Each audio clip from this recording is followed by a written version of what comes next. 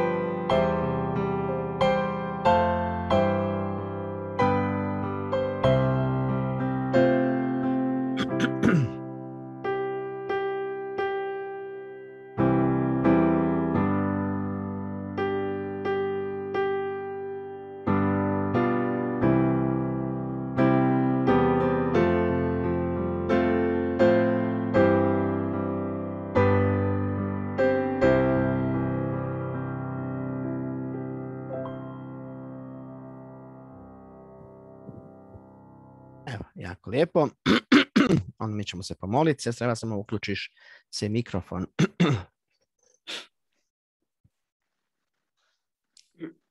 Oče naš koji si na nebesima, neka se sveti ime Tvoje, neka dođe volja Tvoja, kako na nebu, tako na zemlji.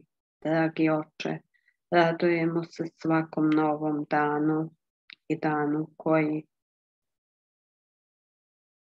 danu kad se možemo duhovno hrabriti sa svog, duhovnog stola i da možemo hrabriti jedni druge, jačati vjeru i iskazivati samopoštovanje i vršiti Božju volju i volju Isusa.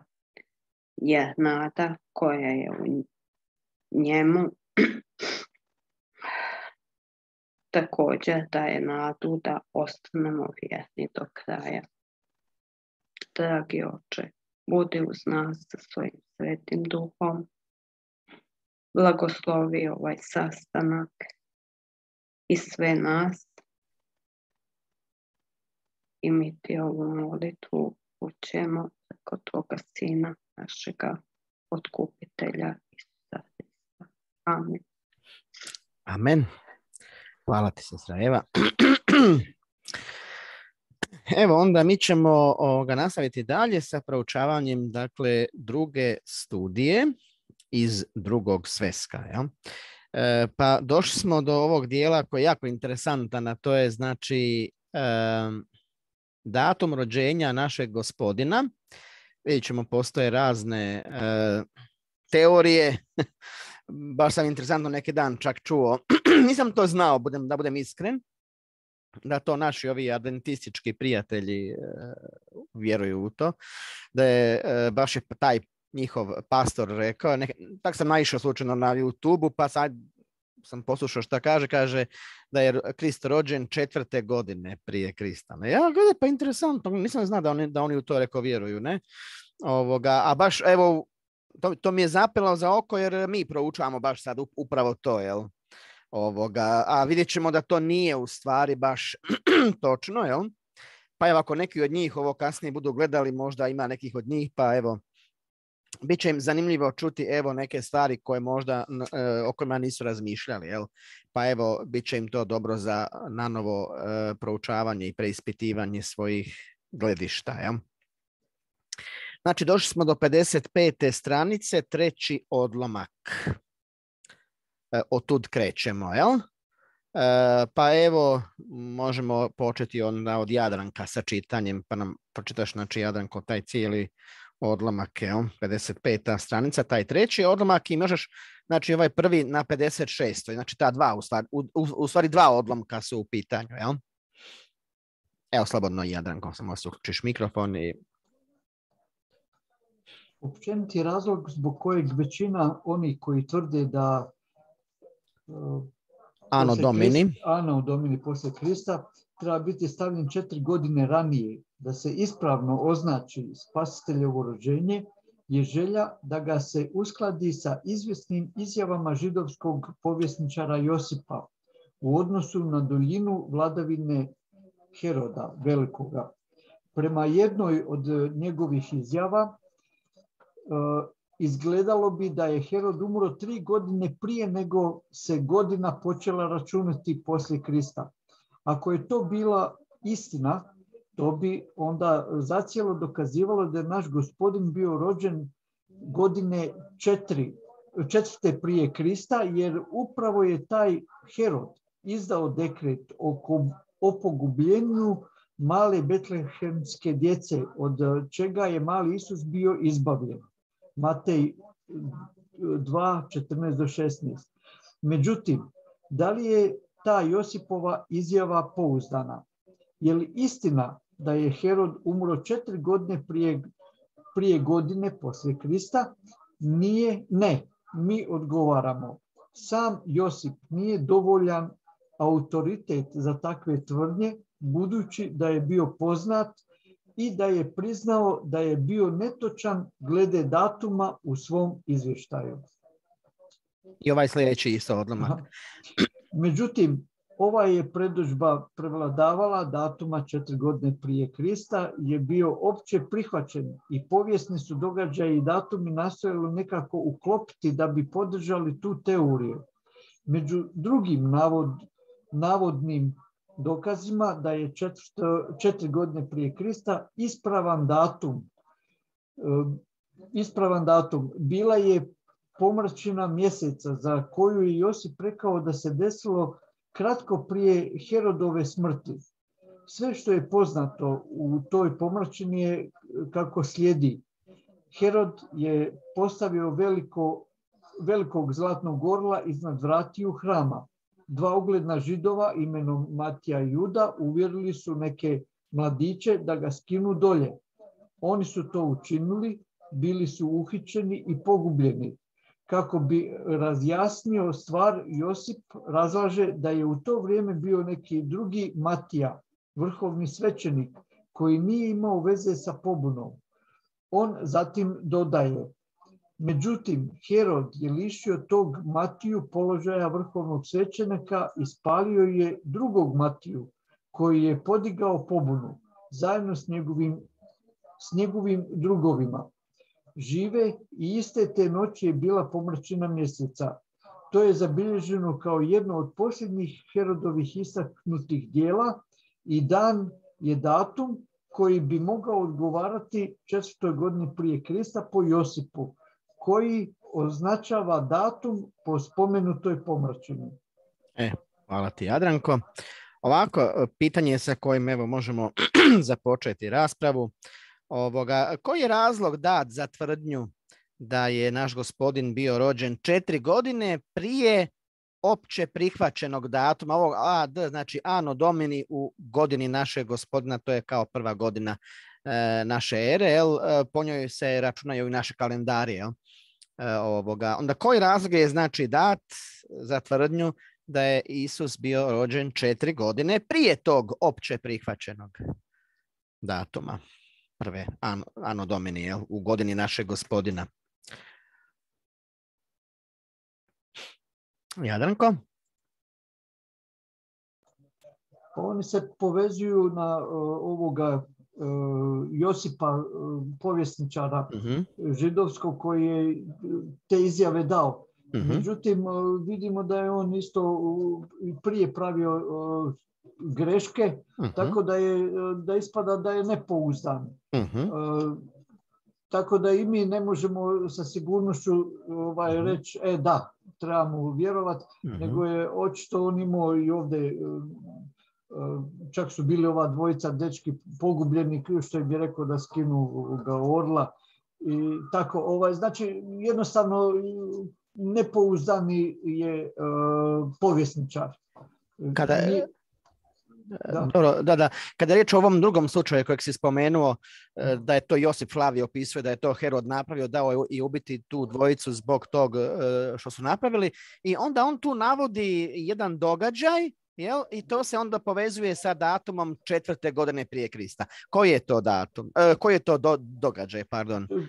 Kad je Herod umro, mislite na to ili? Ne, ne, ne, ne. E, nešto se desilo, to je Flavije taj povesničar e, zabilježio da se toga dana nešto desilo kad je ovaj dao pogubiti tu dvojicu, a ostale spali žive i tako dalje. A Herod je ovaj, tog dana ovoga Matiju lišio položaja vrhovnog svećenika. Dobro, i kaže šta se desilo iste te noći? I ubio ga je. Dobro, bez danjega. I Ivica? Bilo je pomračina mjeseca. Uh-huh. Znači to nekako izgleda kalendarski se može i dan danas izračunati kad je pomrčina mjeseca, ako je tad bila pomrčina mjeseca. Uh Jer ljudi koji to računaju, oni mogu izračunati, na primjer, od našeg vremena uh ima točno kad nastaje pomrčina i tako unazad se može izračunati. uh To je istina, apsolutno. Ali vidjet ćemo da li je to slučaj sa ovom pomrčinom na koju je ukazao Josip Flavije, koji je inače, gdje ćemo, ču, čućemo i kasnije, u čak nekim izvorima povijesnim se spominje da je on bio stvarno nepouzdan po pitanju datuma i tako dalje. Ali evo, kad reč o toj pomrčini, idemo sada dalje na znači drugi odlomak ovdje na 56. stranici. E, evo onda ovoga mogu ja to pročitati. Jel? Kaže ovako. Međutim, S obzirom da se s vremenom događa oko četiri pomrčine mjeseca u godini dana. Očito je da osim pod nekim posebnim okolnostima, izvještaj o takvom događaju ne dokazuje ništa.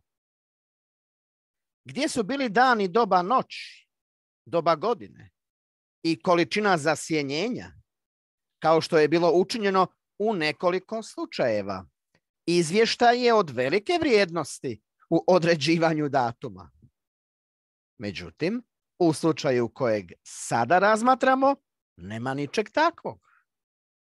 Stoga, apsolutno ništa nije dokazano izvještajem. Barem što se tiče kronologije. Josip spomenje post, da ga se držalo to prije tog događaja. Međutim, koji post ili koliko dugo prije, nije navedeno. Onda pod kojim bi se uvjetima jedino pomrčina mjeseca dokazala vrijednom u određivanju datuma? Pod kojim uvjetima?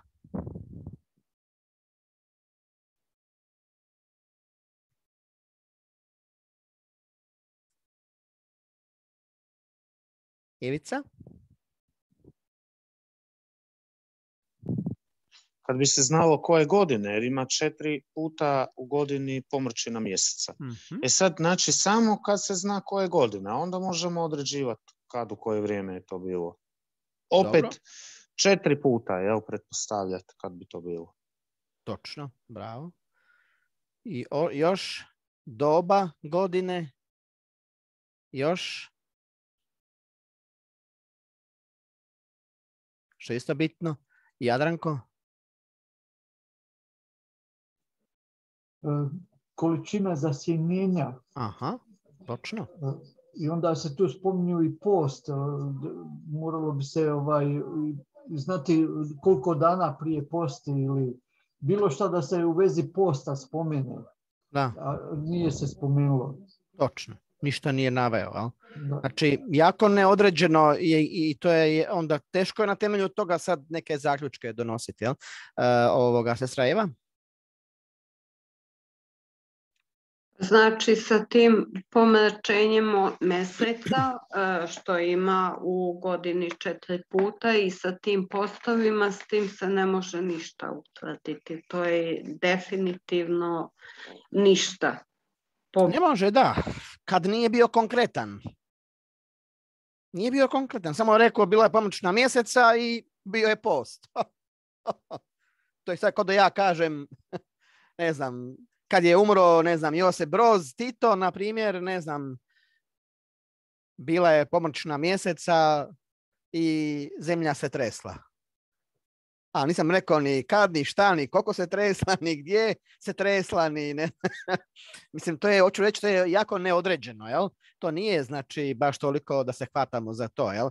Ali vi ćete još sad i dalje u nastavku ovoga 57. E, stranica, evo prvi odlomak, Možeš nam ti, sestra Eva, sad ovaj sljedeći mali odlomak slobodno pročitati. Šta kaže?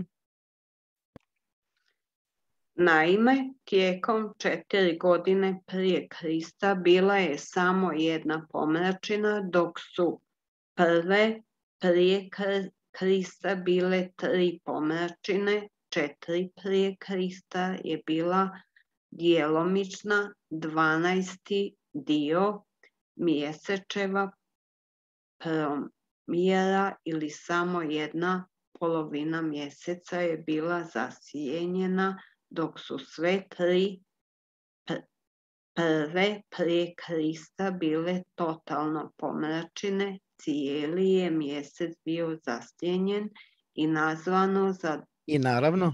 I naravno za duže vrijeme preuzročujući da događaj bude više zamjetljiviji. Stoga ako teorija pomračine ima ikakvu težinu, to sigurno nije u korist ranijeg datuma četiri godine prije Krista. Tako je, da. Četvrte godine prije Krista. Ja. Evo upravo ono kao što je Ivica bio spomenuo, jel, dakle može se izračunavati ovoga na temelju astronomskih podataka, e, ovoga kada je bila Jel? Može se, apsolutno. E, I onda, evo, po tom pitanju, što su bile činjenice s obzirom na pomrčine mjeseca četvrte godine prije Krista i prve godine prije Krista? Pojedinačno. Jadranko. Da, vidimo da četiri godine prije Krista su bile ovaj, e, tri pomrčine, a u prvoj godini polako, četiri. polako.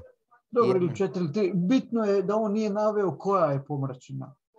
Tu je ne, ne, e, koliko je bilo, Jadranko, koliko je bilo tijekom četvrte godine prije Krista? Uh, tri. kako tri? Gdje to pište? Nisu bile tri, bila je samo jedna. A samo jedna, da, 12. dio mjeseca, da. Jedna polovica mjeseca je bila za, tako Je, tako je. A, A prve, godine... prve godine tri bile. Tako je. Točno. Da, od tih ovaj, i godina i svega da. pa se zbuni. Je, je. Reci, reci dalje, slobodno. E, da, uglavnom ovaj, e, da ti događaji e, nisu na njemu, nije nam jednostavno rekao, e, bilo je tad i tada, mogu je mhm. navesti ovaj, mhm. da li je bila prva pomračina, druga ili treća, ne mogao je on reći koje, tako bi znali koje godine bilo. Ne? Ili koje doba, u stvari. Da.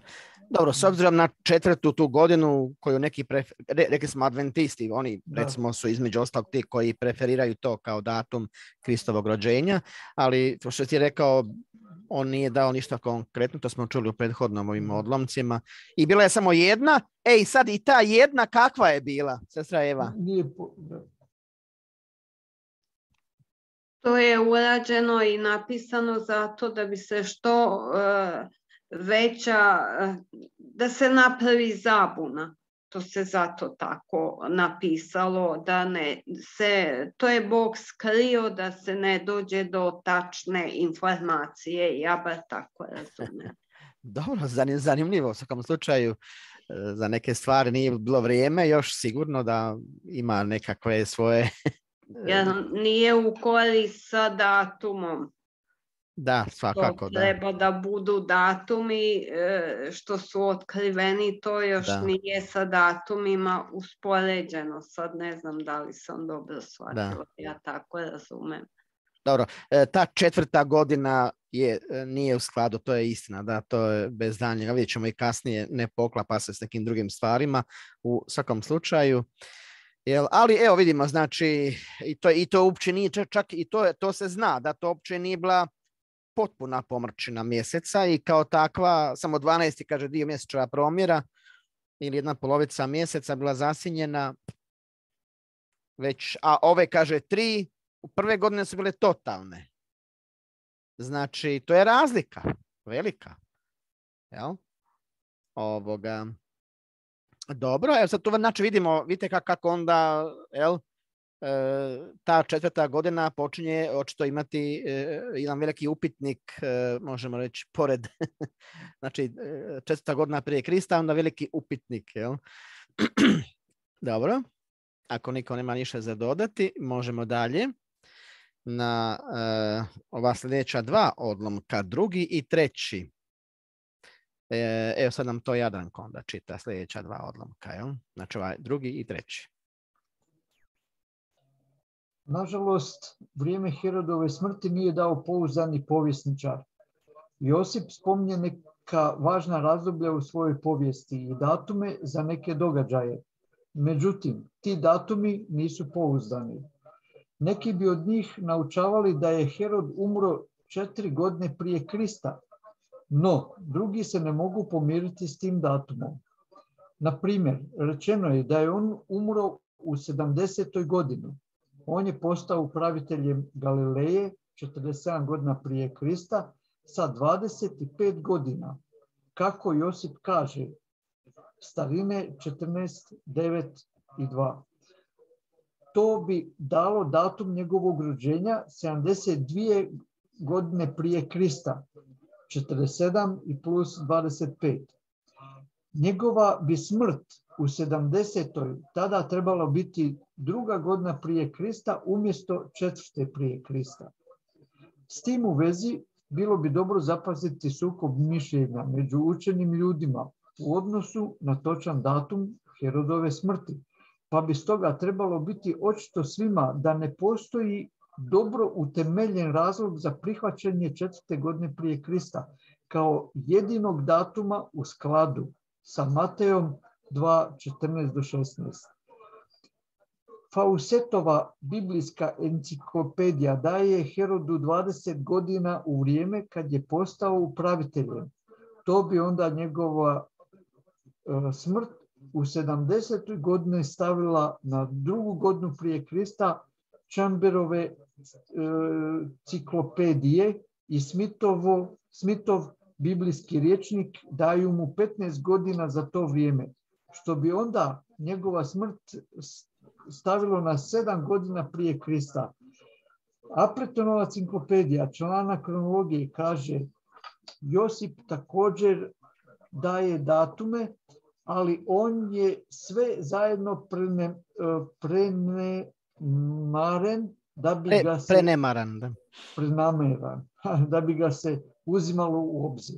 Eto, vidite, čak i enciklopedije priznaju u vezi toga Jospa Flavija da to baš nije, jel? To je svjetovni izvor, jel? To nismo mi napisali, ni brat Rasel, jel? Nego Appletonova ciklopedija, može se provjeriti, jel? Nađete na internetu članak o kronologiji i to ćete moći onda naći tu informaciju, jel? E sad ovako, onda e, što je sukob mišljenja među izučavateljima što se tiče datuma Herodove smrti i što to onda znači? Znači, koji sukob mišljenja imamo među izučavateljima u vezi Herodove smrti? Jadranko. ja se ispričavam. Tu imamo razne zapise koje su mm. ne podudaraju. Znači mhm. svaki je zapis ispada na drugu godinu. E, sve, da ne govorimo i o tome Josipu koji je očito pogrešio, ali i ovi drugi nam e, nas bunjuju. E, ne daju tačan ne daju tačan datum koji možemo samo nazirati. Ne? Ili nekom logikom mm ovaj, uzimati u obzir. Evo. Da. Da. Točno, da. Dosta zbunjujuće, jel? Ovoga, po tom pitanju, jel? Stvarno, da. Izgleda, izgleda da je taj Josip Flavije dosta, iako ima ovako zgodne neke ovako zanimljive stvari, ima neka njegova dijela recimo na hrvatskom jeziku, židovske starine se mislim zove, e, knjiga ima, on je napisao isto i e, židovski ratovi, tako da ima zanimljivih stvari, jednak nekih pojedinost, nekih možda recimo dodataka e, za neke biblijske ličnosti i tako dalje, ali po datumima je katastrofa. Ne? To evo čak i oni priznaju, jel? povjesničari. Da.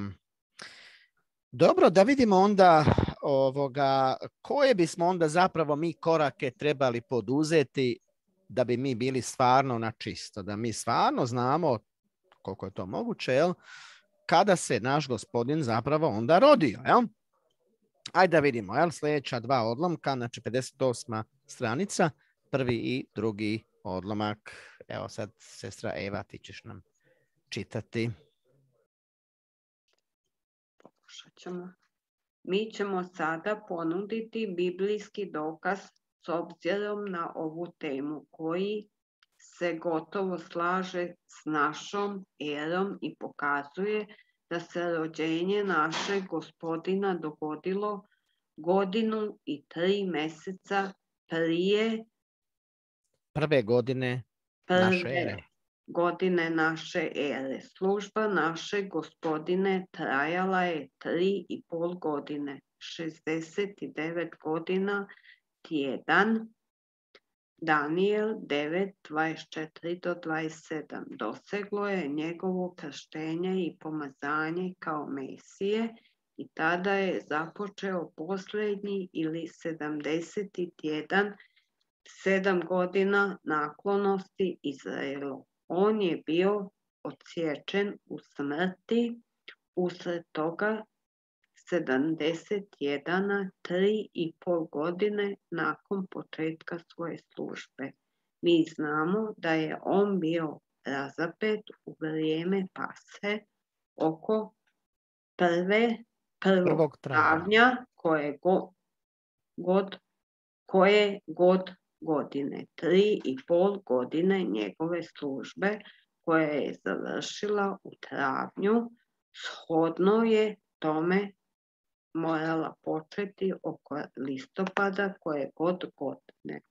I listopad neke godine je morao biti pravi mjesec njegovog rođenja jer nije odgađao započeti sa svojim, svojom službom čim mu je bilo 30, a nije ni mogao prema zakonu pod kojem je bio rođen i kojemu je bio poslušan. Početi prije nego mu je bilo 30, kao što čitamo, a sam Isus kada je počeo bijaše oko 30 godina i tada. Dobro, se sve, Eva. Evo ovako, ajmo maj, najprije otvoriti knjigu proroka Danijela, deveto poglavlje. Reci 24. do 27. To je jako važno u ovom našem proučavanju.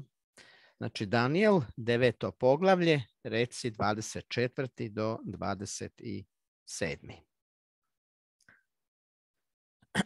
Iako ćemo imati jednu posebnu studiju koja će se baviti sa time, ali evo, sad želimo se ipak dotaknuti toga. Evo, može Jadranko nam pročitati. Tvom narodu i tvom svetome gradu određeno je 70 sedmica. U tom roku treba prestati činiti zlo, potpuno odustati od grijeha i očistiti od svake nepravde tada će nastupiti pravda koja će trajati zaovijek, potvrdit će se vizije i proroštva, te izvršiti ponovno posvećenje hrama. Znaj, dakle, da će od objavljivanja poruke u obnovi Jeruzalema do dolaska izabranog vođe proći sedam sedmica. Jeruzalem će biti izgrađen u 62 sedmice, no uz puno nemira i nevolja, opet će se na njegovim trgovima okupljati ljudi bit će pokopan, prokopan zaštitni rov oko cijeloga grada. Nakon 62 sedmice izabrani će vođa biti pogubljen, a da nije do tada ništa postigao. Tada će napasti vojska budućeg vladara i razoriti grad i svetište. Kraj će doći kao potop. Rat će se nastaviti do samoga kraja, Bog je odredio da se potpuno uništi ovo mjesto. I 27. Budući će vladar s mnogima sklopiti savez koji će trajati jednu sedmicu. Prinošenje i, žrtvo, prinošenje i žrtvovanje bit će ukinuto tijekom polovice toga vremena. Zatim će doći onaj koji uništava i donijeti grozotu, grozotu uništenja u svetištu, no na kraju će i razarač biti uništen. Mhm. Dobro, hvala ti. Znači onda tu e, vidimo, jel, spominje se ukupno 69 godišnjih tjedana, to su znači te proročanske sedmice, jel, to je kad se izračuna, dakle 69 puta 7, 483 godine, jel? ovoga ukupno do dolaska Mesije. Jel? I onda ostaje još jedna sedmica, ide sedam godina, to je taj 70. tjedan.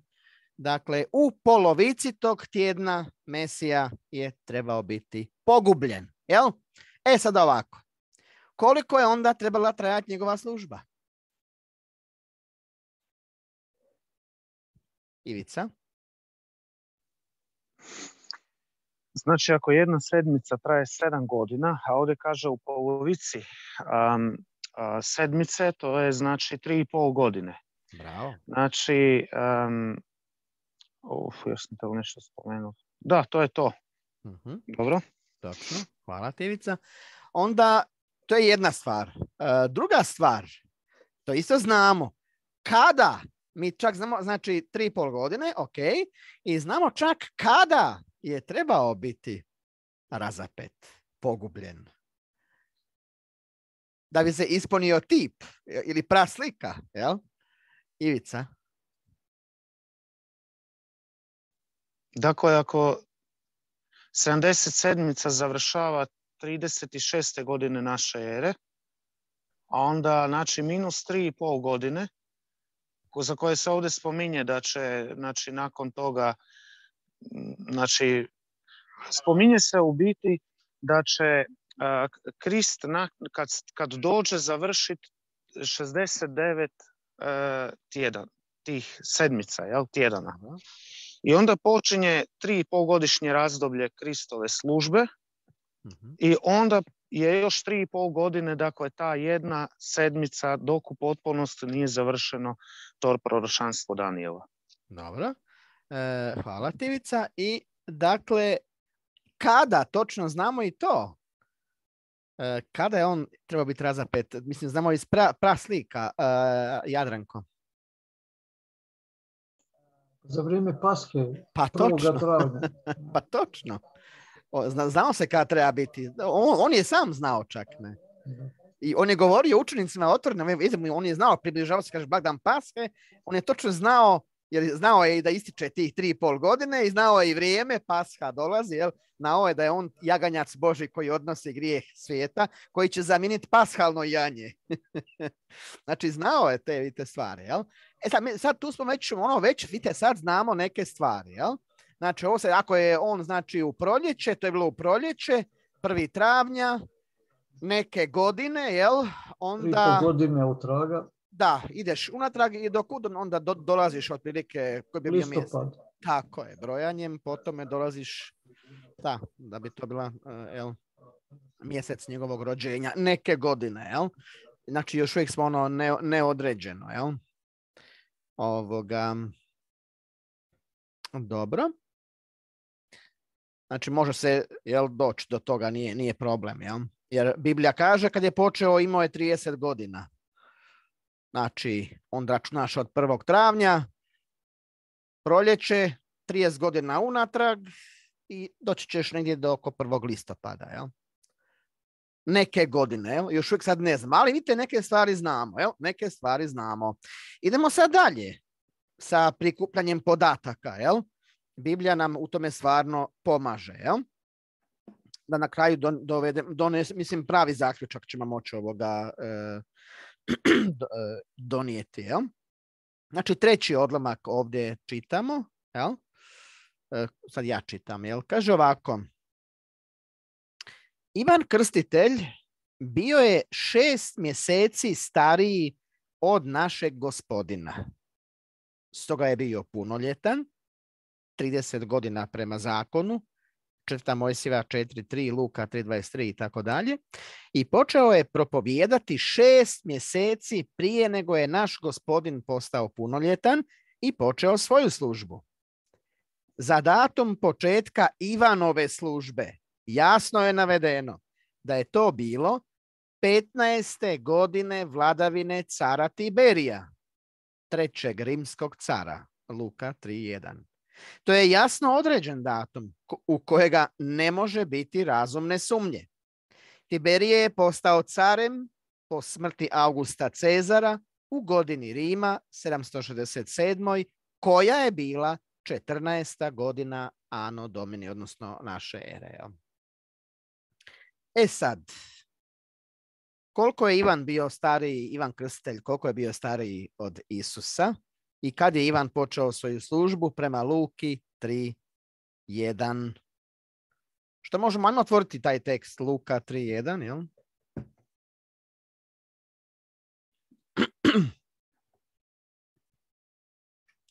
Isto jedan bitan podatak. Može Jadranko čitati Luka 3.1, jel? Bilo je to 15. godine vladavine cara Tiberija, kada je Poncije Pilat upravljao Judejom. Herod je upravljao Galilejom, njegov brat Filip pokrajinama i Turejom i Trahonitidom, a Lizanije Abilenom. mm Dobro. Onda, šta, što, možemo reći? Koliko je bio stariji Ivan Krstitelj od Isusa? Šest mjeseci je bio stariji od Krstitelja. A kad je počeo službu?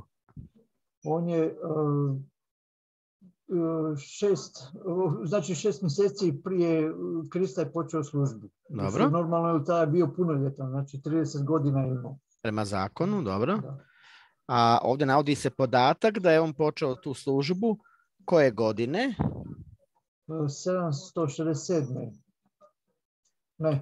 Dobro, to je godina Rima. Rima, da ali kako znamo da, sad do, doćemo do toga, nego ovoga, ovom sad tekstu kojeg smo pročitali, što piše, kada je Ivan počeo službu?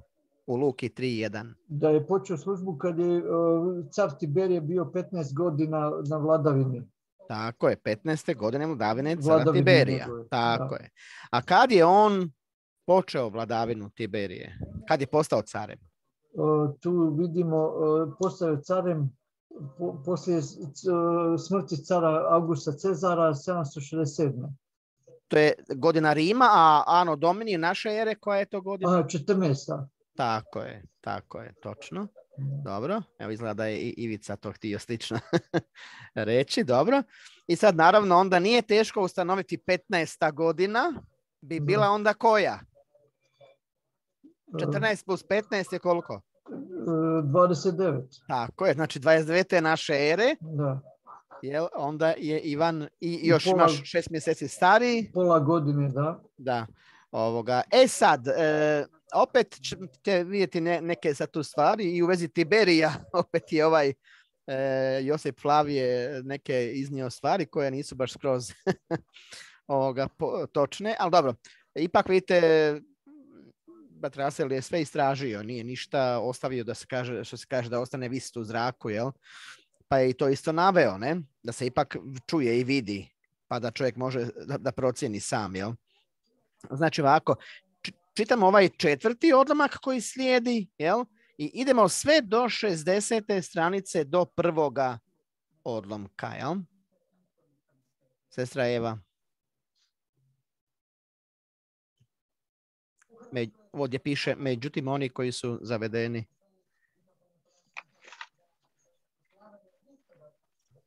Međutim, oni koji su zavedeni sa Josipovim netočnim tvrdnjama u odnosu na Heroda i koji stavljaju Isusovo rođenje na četiri prije Krista kako bi se uskladili s njim, naišli su na poteškoću kada je u pitanju ovaj datum kojeg je Lukas jasno naveo, pa i njega nastoje uskladiti s njihovim četiri Krista teorijom kako bi ostvarili taj cilj. Oni tvrde da je Tiberije počeo iskazivati svoj autoritet nekih tri godine prije nego je August umeo i prije nego je on bio u potpunosti ustoličen za cara. Oni tvrde da je vjerojatno da bi se njegovu vladavinu moglo računati od tog datuma. Međutim, takve će se pretpostavke naći neutemeljenima od bilo koga tko će istražiti stvar na stranicama povijesti. Istina je da je Tiberije bio uzvišen od Augusta na veoma važan položaj, međutim to nije bio četiri godine prije Augustinove smrti, kako bi njihova teorija zahtijevala, nego deset godina prije četvrte AD, međutim moć koji je tada bila prenešena na njega bila je poput one koji su mnogi bili uživali prije njegove vremena. U, uni, u kom smislu riječi to nije bila carska moć i ni u kom se smislu riječi za njegovu vladavinu nije moglo reći da je počela tada. On je bio samo prividan nasljednik. Čak u preuveličanom korišćenju jezika za njegovu se vladavinu nije moglo reći da je počela prije Augustonove smrti i davanja u posjed od ruku rimskog senata njegove službe 14. ade. Povijest kaže car koji je povijest kaže car koji je stareći trebao suradnika usvojio je Tiberija četvrte AD obnavljajući svoju tribunsku moć. Članak Tiberije on Prema tome je odlučio prenijeti na njega Tiberija ubio u vladavini. Ovo formalno davanje položaja postavilo ga je na istu razinu kao onu koju je uživao veteran Agripa u svojim kasnijim godinama i nema sumnje da se to općenito smatralo uvođenjem na prvo mesto u carstvu. Program za nasljeđivanje bio je značajno zasjenjen. Tiberije, Tiberiju je bilo zapovjeđeno da preuzme njegovo mjesto na čelu senata, naroda i vojske. Usvajanje koje se dogodilo u isto vrijeme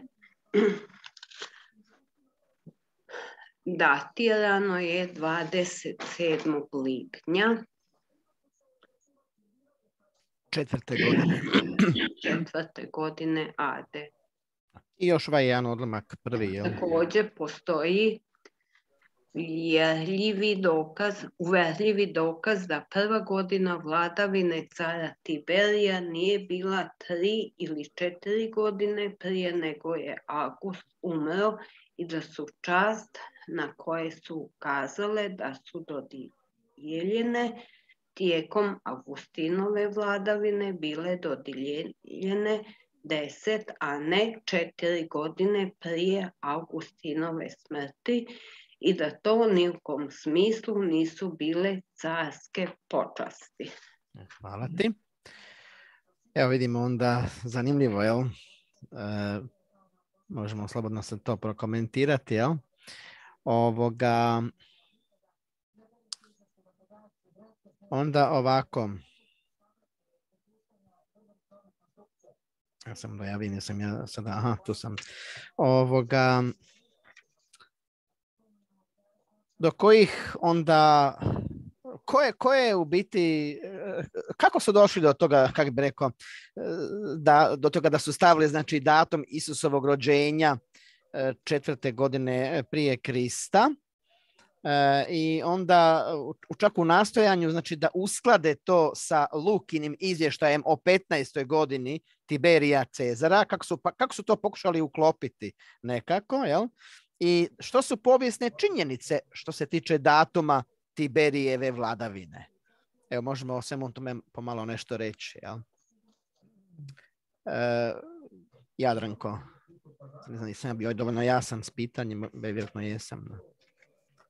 Ma dobro, sve je jasno. Ovaj, e, kako bi rekao, tu se odnosi, August je vladao i vjerojatno je dao Tiberiju podigao ga je na na jednu višu razinu kao da im, mhm. ovi su imali osjećaj kao da je on vladao. U stvari službeno je bio August i dalje mhm, car do svoje smrti. A kada je on umro, e, od te godine se računao Tiberija vladavina. Makar je on možda bio, kako se kaže, ono siva eminencija, da je vladao mm iza sjene. Ali to se ne može računati. Mhm. Nego službeno je, kada je on došao na, na vlast, znači poslije Augustove e, smrti. A, a i taj položaj na kojeg je on dobio, kada je se desio? Je li to bilo kako oni smatraju četvrte godine prije Krista ili kada? to se dogodilo još i prije, znači deset godina prije. Točno, znači on je bio tu mm sa strane ministar recimo. A, da, da. u današnje doba. Ne? Da. Tako da. je, tu su oni veliku grešku, ma u stvari vjerovatno su pravili to što im paše, da, mhm, da ga mhm. proglase ovaj, da. većim nego što je bilo i valjda su te godine mhm. nadodali jednostavno. Da, da. Ali interesantno, ja vidite, to mislim provjereno, ne, pa ne, sestra Eva. Pa ja bih samo kratko rekla, oni su se ugledali na svoju čast, na svoju veliku carsku čast, da što više sebe uveličaju, da oni nešto znaju i da iznose. A u stvari to sve nije bilo tačno.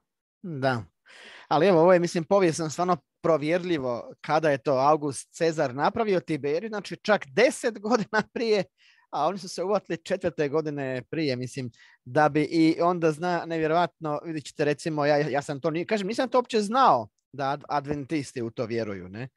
Ovoga, uh, I baš sam čuo tog pastora kad je rekao to, kaže, Isus je, kaže, rođen četvrte prije Kristane. I čak spominje da je bio star 36 godina kad je bio pogubljen. Znači, to vidite koliko može otići se zbog kronologije od, doneseš krive neke, ne znam, zaključka i tak dalje i ne znam, stvarno, ovoga stvarno ne, nevjerovatne stvari. Ja? Dobro, da vidimo dalje. Evo sljedeći odlomak. Znači to je e, na stranici 60. To je ovaj drugi odlomak. Ja? Evo sad ja onda čitam. Kaže ovako. E, možemo dakle smatrati datum iz Luke 3.1 ne samo jedinim kojeg je dao novi zavjet, nego i nedvosmislenim. Ne može biti nikakve sumnje u nje, o njemu u umovima bilo koga koji ga je istražio. Tiberije je počeo vladati 14. godine naše ere. Stoga bi 15. godina njegove vladavine bila godina 29. Ano Domini. Koje godine je, kako Luka navodi, treće poglavlje, prvi do treći redak, Ivan počeo svoju službu. Budući da su 30. rođendan našeg gospodina i početak njegove službe bili u listopadu, i budući da su Ivanov rođendan i početak njegove službe bili šest mjeseci ranije, onda slijedi da je Ivan počeo svoju službu u proljeće oko 1. travnja, čim je postao punoljetan, jer Boži se planovi uvijek izvršavaju točno na vrijeme. Dakle, Ivan je bio 30 godina star 29. godine naše ere oko 1. travnja, pa je shodno tome bio rođen druge godine prije Krista, oko 1. travnja. Bilješka kaže, za naše čitatelje koji nisu toliko naviknuti na računanje datuma. Skrećemo pažnju na činjenicu da je početkom godine 29. Ano Domini prošlo samo 28 punih godina. 29. je bila na početku. Kraj bilješke. I Isusovo rođenje šest mjeseci kasnije moralo je biti druge godine prije Krista oko 1. listopada. Onda, ajmo ponovno otvoriti luku 3, 1 do 3. Luka 3, 1 do 3. Sad ćemo moći to, ja vjerujem, iz glave izračunati automatski. Neće biti problema nikakvi. Luka 3, 1 do 3 ovaj puta. Israjeva?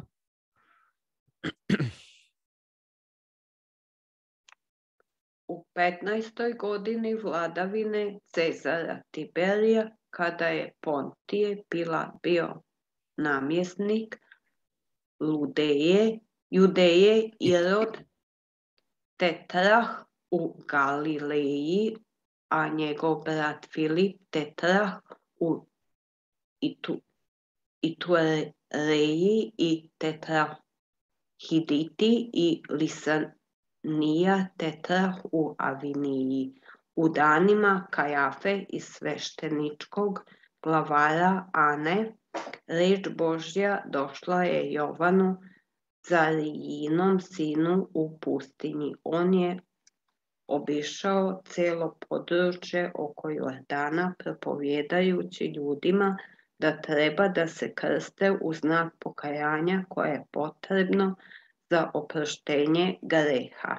Mhm, dobro, hvala ti se Sreva. Hvala ti se Sreva. Dovoljno je, znači do trećeg redka. Evo ovako, e, onda, što je naš zaključak u odnosu na datum Luke 3.1 i kako to onda nedvosmisleno i jasno određuje datum Isusovog rođenja. Hajmo matematičari.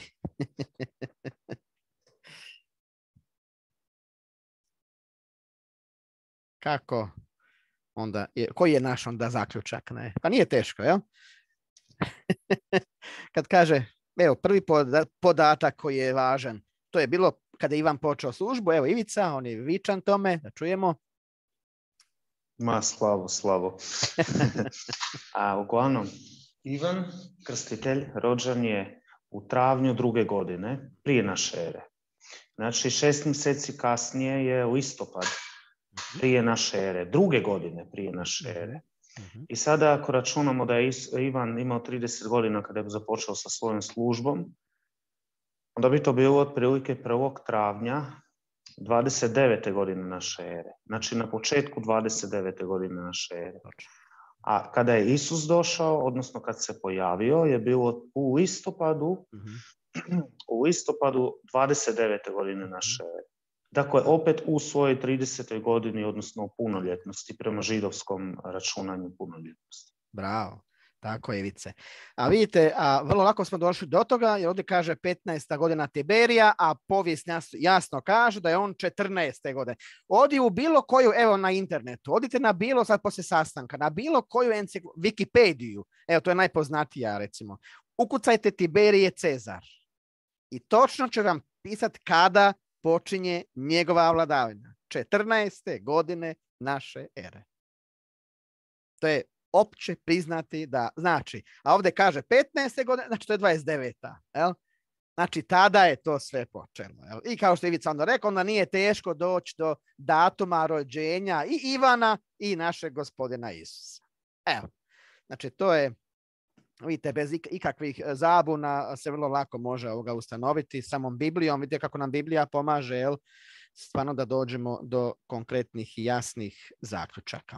E tu ćemo onda stati pa ćemo idući put nastaviti dalje, s tim da ćemo onda zaključiti ovu 12, e, pardon, drugu, počnemo treću studiju gdje ćemo se više malo baviti sa Danielom 9.24 do 27. Fascinantna jedna studija će biti, vjerujte, jer tu isto postoje, nažalost, mnoga kriva gledišta neki taj zadnji tjedan, ono, odnosno tih sedam godina prebacuju u budućnost, jel, i tako dalje, zbog iskrivljenih gledišta o Antikristu i puno to ima stvari, jel. Sad da ne ulazim u detalje, do, do, toga ćemo doći kad budemo proučavali tu treću studiju. Jel. Dobro, evo, hvala vam svima, bilo jako lijepo, stvarno zanimljivo. Ovoga, eh, hvala vam na komentarima. I mi ćemo sad zaključiti onda sa himnom 218. Znači himna 218. I pomolit ćemo vas onda na kraju.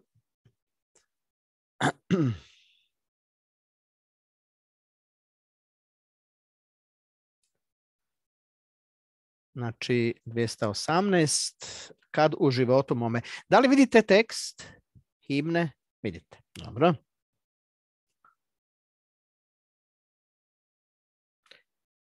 Znači odmah počnemo pjevati.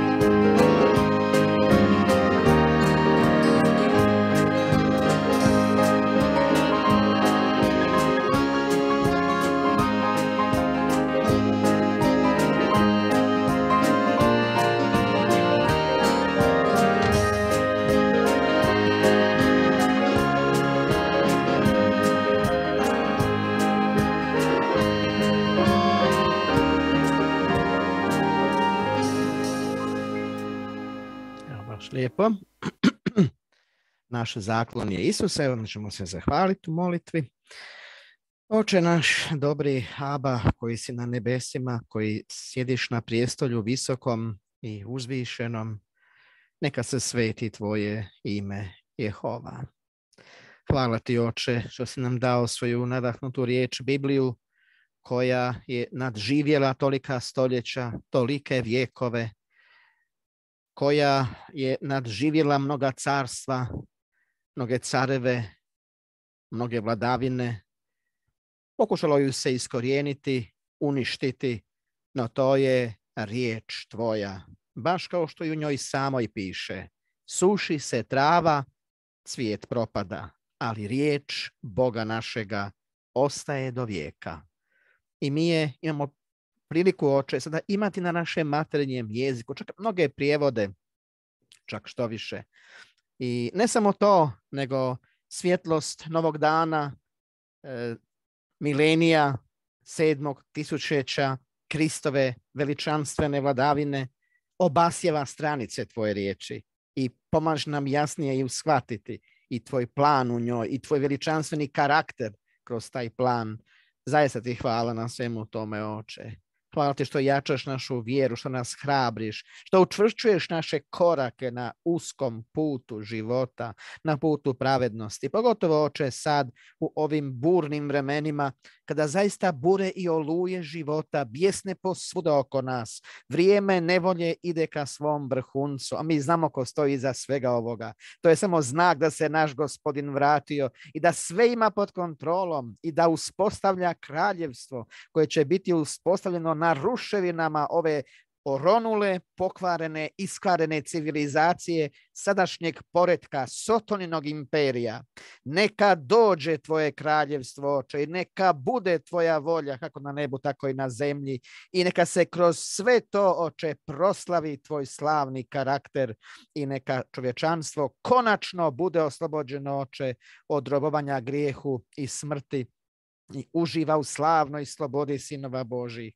Mi se radujemo zato o tome oči da ćemo im moći u tom pravcu pomagati kao i dovršiti zajedno s našim gospodinom oče rušenje ovog starog poretka Stoga te molimo, pomoz nam da evo mi koji smo još preostali zaista uspijemo potvrditi naš poziv i izabranje i uskoro se naći sa njim sa one strane oče i sa željeznom palicom dokrajčiti nacije i započeti vladavinu kraljevstva. Molimo te oče sada to sve u njegovo presveto i blagoslovljeno ime. Amen.